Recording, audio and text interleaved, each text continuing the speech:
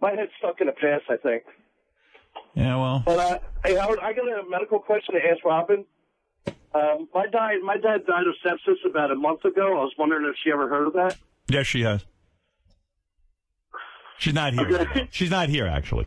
She Oh, oh. she she had enough. No, she uh, she had she had an appointment today. Uh, she had to leave at eight o'clock. So I'm I'm here on my own, I'm flying solo, baby.